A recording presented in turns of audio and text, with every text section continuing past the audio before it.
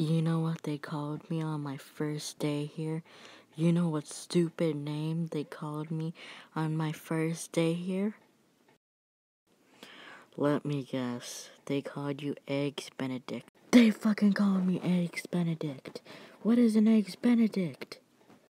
What did you get for the end of your first week there? You want to know what I got? You want to know what I got? What the heck is that? Exotic butters.